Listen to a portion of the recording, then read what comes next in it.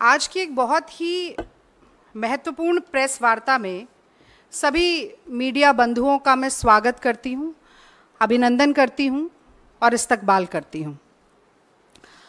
और अपनी बात ये कहकर शुरू करना चाहती हूँ कि हर आदमी में होते हैं दस बीस आदमी जिसको भी देखना, कई बार देखना।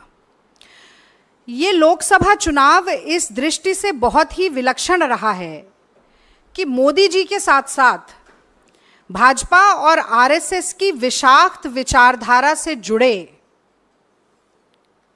कई और व्यवसायों में काम करने वाले लोग, कई पत्रकार भी उसमें बेनकाब हुए हैं। मुझे लगता है कि आज की प्रेस वार्ता इसलिए भी महत्वपूर्ण है क्योंकि एक पत्रकार की बेटी होने के नाते बचपन से मैं ये सुनती आई हूँ कि खेचो न कमानों, को न तलवार निकालो। अगर तोप मुखातिब हो तो अखबार निकालो। तो चौथे स्तंभ, जो लोकतंत्र का चौथा स्तंभ है, उसकी निष्पक्षता और निर्भीकता पूरे लोकतंत्र के लिए कितनी महत्वपूर्ण है, ये बचपन से मुझे सिखाया गया। मैंने कई बार टीवी के डिबेट में भी ये कहा कि एक पत्रकार की कलम अगर झुकती है तो सिर्फ़ लिखने के लिए झुकनी चाहिए। ऐसा मेरे पिताजी हमेशा कहते थे। अब सवाल ये उठता है कि एक बहुत ही सभ्य, मर्यादित, संयमित, दिखने वाले वरिष्ठ पत्रकार, पत्रकारिता को कितने निचले स्तर तक ले जा सकते हैं? ये कल से वायरल हो रहे एक वीडियो ने दिखा दिया है। मैं तो रजत शर्मा जी से सीधे सीधे आज पूछना चाहती हूँ कि जो अपशब्द रजत शर्मा जी ने कहे हैं, वो क्या उनकी आदत है? उनकी फितरत है? कांग्रेस और विपक्ष से उनकी नफरत है? या मोदी जी का चरण वंदन है? और मुझे लगता है कि कल से भारत के सोशल मीडिया प्लेटफॉर्म्स पर लाखों लोग जो अपनी राय, अपनी प्रतिक्रिया एक अभद्र टिप्पणी के ऊपर दे रहे हैं, उन सबके सामने सार्वजनिक रूप से एक स्पष्टीकरण या बयान ज़रूर आना चाहिए था। मैं थोड़ी सी क्रोनोलॉजी बताना चाहती हूँ कि असल में हुआ क्या। पहले हम लोग सोच रहे थे कि वो दोनों वीडियो यहाँ पर दिखाएँ, पर वो आपको मेरी टाइमलाइन पर ज़रूर मिलेंगे। ये वाक्य है चार जून का, जिस दिन नतीजे लोकसभा चुनाव के सामने आ रहे थे। और मैं यहीं एआईसीसी के प्रांगण में बैठकर इंडिया टीवी पर बहस कर रही थी। अब होता ऐसा है कि अगर एंकर और प्रवक्ता साथ में बोल रहे हों, कांग्रेस की बढ़ती हुई टैली को देखकर गर्मजोशी का माहौल हो शोर शराबा हो, और टीवी स्क्रीन सामने ना हो तो अक्सर बुदबुदाकर या धीरे से अगर कोई बात कही जाती है तो वो सुनाई नहीं दे पाती है। उस दिन मैं नहीं सुन पाई। मेरे सामने टीवी स्क्रीन भी नहीं थी।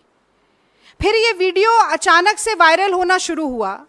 कल मेरे और पवन खेड़ा जी के संज्ञान में हमारे कुछ कांग्रेस के कार्यकर्ताओं ने भी और ट्विटर, यानी कि एक्स, पहले ट्विटर कहा जाता था, उस प्लेटफॉर्म पर भी हमें कई लोगों ने ये वीडियो भेजा।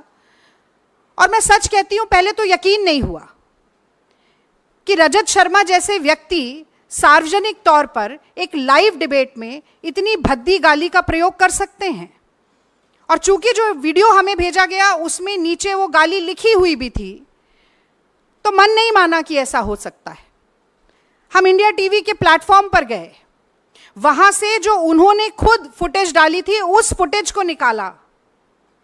उस फुटेज की उस क्लिप को निकाला जिसमें यह वाक्य घटित हो रहा है। और वहाँ पर भी, जिसे अंग्रेज़ी में एक एक्सप्रेशन कहा जाता है अंडर द ब्रेथ बुदबुदाकर, धीरे से। केवल इस बात पर कि मैं उन्हें टोक रही हूँ कि कांग्रेस पर आज भी लगातार प्रहार मत कीजिए। शायद मोदी जी की घटते हुई संख्या और कांग्रेस की बढ़ती हुई संख्या को देखकर झुंझला इतना गए कि उन्होंने वो गाली दी। और अब मैं एक नारी के तौर पर भी, एक भारतीय महिला के तौर पर मैं ये जानना चाहती हूँ रजत शर्मा जी से कि ये बात सिर्फ़ एक रागिनी नायक की नहीं है। मैं दस साल से ईमानदारी से अपनी पार्टी का पक्ष टीवी पर रख रही हूँ। आप पत्रकार होते हुए भी भाजपा का पक्ष रख रहे हैं। मोदी जी के साथ जो आपका इंटरव्यू हुआ, वो सबने देखा। किस तरीके की बातचीत उसमें हुई, सबने देखा। मेरे माँ बाप, मेरे बूढ़े सास ससुर, मेरे बच्चे सब वो वीडियो देख रहे थे।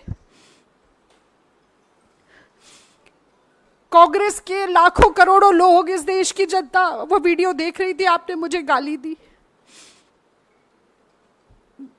सिर्फ़ इसलिए कि मैं ईमानदारी से अपनी पार्टी का काम कर रही हूँ। सिर्फ़ इसलिए कि मैं ईमानदारी से अपनी पार्टी का काम कर रही हूँ। और सिर्फ़ गाली नहीं दी। उसके बाद सुबह आपने मुझे धमकाना शुरू किया। आपने कहना शुरू किया कि अगर प्रेस कॉन्फ्रेंस किया जाएगा तो डेफोमेशन का केस करेंगे। मतलब आप चोरी करें, उसके बाद आप सीना चोरी करें, आपको लगता है कि धमकाने से हम डर जाएँगे? और ये आँसू सिर्फ़ इसलिए नहीं है कि मेरा अपमान हुआ है।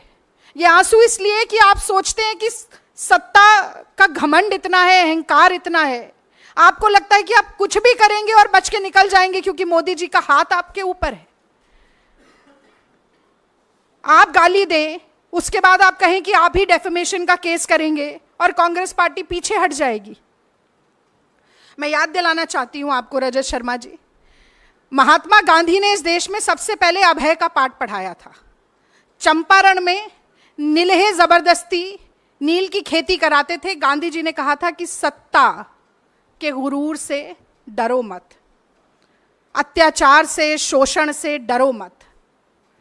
कितनी भी ताकत हो, सरकार के पास डरो मत। और मुझे लगता है कि वही आज राहुल गांधी भी चरितार्थ कर रहे हैं, जब वो ये नारा देते हैं, डरो मत। तो देखिए, हम डरे नहीं। आपकी गीदड़ भपकियों से नहीं डरे। सबसे पहले तो मुझे लगता है कि आपको बताना चाहिए था कि अगर आपने गाली नहीं दी तो आपने कहा क्या है? कौन से शब्दों का इस्तेमाल किया है? वो आपने नहीं किया, क्योंकि न सिर्फ़ आपका मुखौटा हटा है, बल्कि आपके मन में कितना मैल है। कितना जहर है, कितना गुस्सा, कितना क्रोध, कितनी घृणा है, वो सब आज कहीं ना कहीं बाहर आया है। तो आज विलंब हुआ, हमने सुबह 12 बजे प्रेस वार्ता रखी थी। उसके बाद ये क्रिमिनल कंप्लेंट हमने लॉन्च की है, ये आपसे हम शेयर करेंगे। दो sections section 294 and section 509 of the IPC section 294 कहता है whoever to the annoyance of others, does any obscene act in the public place, or sings, recites, or utters any obscene song, ballad, or words in or near any public space, shall be punished with imprisonment of either description for a term which may extend to three months, or with fine, or with both. और दूसरा section 509 outraging modesty of a woman Whoever intending to insult the modesty of a woman utters any words, makes any sound or gesture, or exhibits any object intending that such word or sound shall be heard, or that such gesture or object shall be seen by such woman, or intrudes upon the privacy of such woman, shall be punished with the imprisonment for a term which may extend to three years, and also with fine. तो आपकी धमकियों और गीदड़ भपकियों से आपने चुप कराने की कोशिश की, खामोश कराने की कोशिश की। हमने ये क्रिमिनल कंप्लेंट लॉन्च की है और हम न सिर्फ़ ये उम्मीद रखते हैं कि इस पर प्राइम एफ़ इन्वेस्टिगेशन के बाद एफआईआर भी दर्ज होगी, बल्कि मैं आज एनसीडब्ल्यू को भी आप सभी मित्रों के माध्यम से जगाना चाहती हूँ। ये सुओ मोटो कॉग्निजेंस एनसीडब्ल्यू कब लेना सीखेगी? नेशनल कमीशन ऑफ़ वुमेन को कठपुतली की तरह नचाना मोदी सरकार कब बंद करेगी? हमने पहलवान बेटियों की पीड़ा देखी। उनकी छाती पर लाते मारी गई, उनको अपने मेडल सड़क पर छोड़ने पड़े, हर तरह का दुर्व्यवहार हुआ।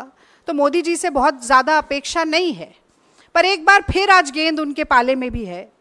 कि कहीं ना कहीं नारी शक्ति की बात करना, नारी वंदन की बात करना, तमाम बड़े बड़े नारे देना नारियों से संबंधित, आज उन सभी का एक बड़ा फैसला, उनका सत्यापन करने का एक बड़ा फैसला वो ले सकते हैं और मुझे लगता है कि आगे बढ़कर इस मसले पर बोलना चाहिए। और अंत में मैं ये बात ज़रूर कहना चाहती हूँ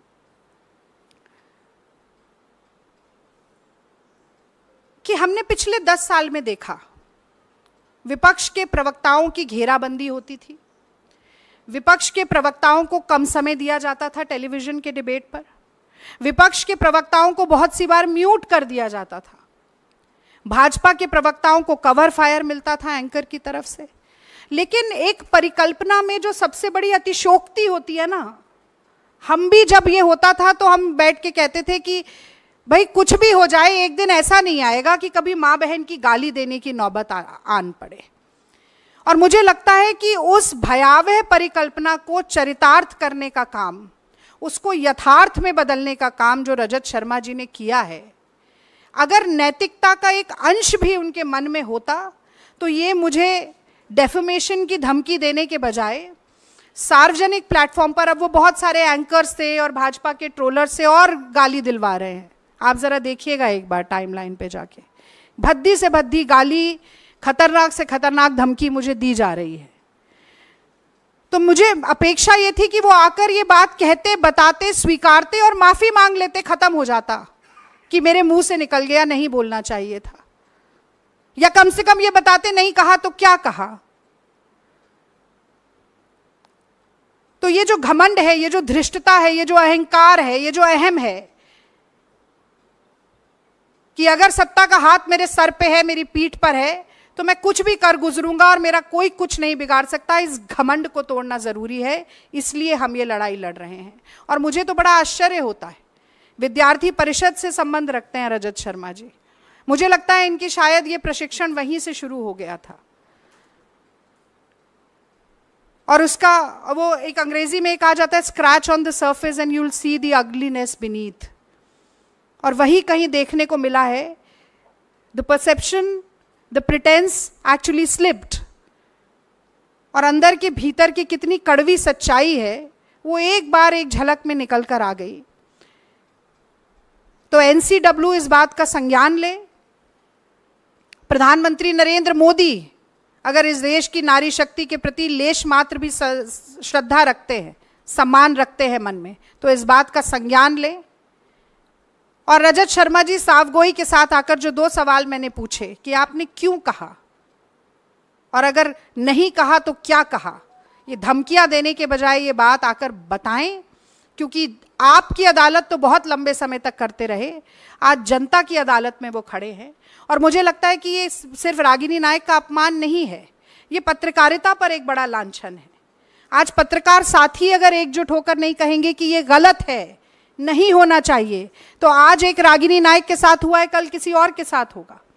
किसी की भी माँ बहन बेटी के साथ अब गाली गलौज की नौबत आ जाएगी। लाइव डिबेट में लाइव चैनल्स पर ऑन एयर गालियाँ बकी जाएँगी। और ये सिर्फ़ मेरी बात नहीं है, कहीं ना कहीं इस देश की सारी महिलाएँ आज कह रही हैं, पत्रकार बंधुओं से कह रही हैं कि लाज राखो मेरे घूंघट पट की और यही बात एक बहुत ही दुख भरे मन के साथ मैं आप लोगों से साझा करना चाहती थी इस प्रेस वार्ता के ज़रिए। यदि कोई भी सवाल आपके मन में है, आज इसी विषय पर बोलूँगी तो ज़रूर मैं जवाब देना चाहती हूँ।